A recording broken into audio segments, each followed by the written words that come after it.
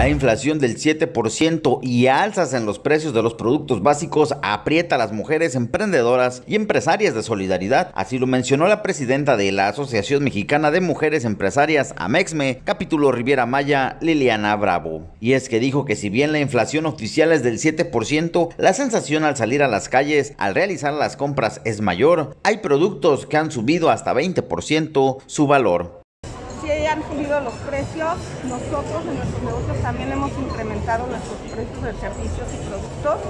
Sí se siente, o sea, se siente fuerte. Cuando te hablan de una inflación del 7%, pues cuando estás en la calle y comprando y dándole, no creo que son 7%, ¿no? O sea, insumos que te llegan a subir hasta un 15-20%. Ha sido complicado, pero bueno, pues también el sector se va, se va contrayendo un poquito para poder ofrecer mejores precios y no tener alzas tan, tan marcadas. Pero sí, se ha, sí afectado.